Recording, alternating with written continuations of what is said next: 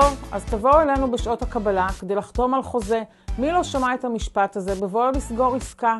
אני אישית נתקלתי בו לאחרונה בסיומו של תהליך להחלפת ספק גז ביתי, שלווה בקבלת הצעות מחיר.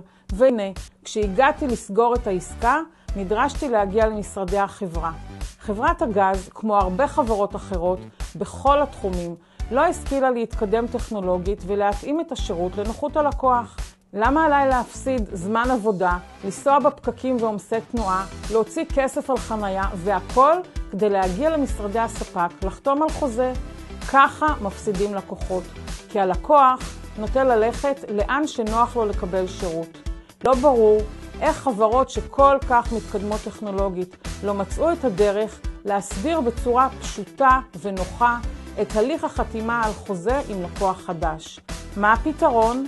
יועצים לניהול שיכולים לסייע לחברה.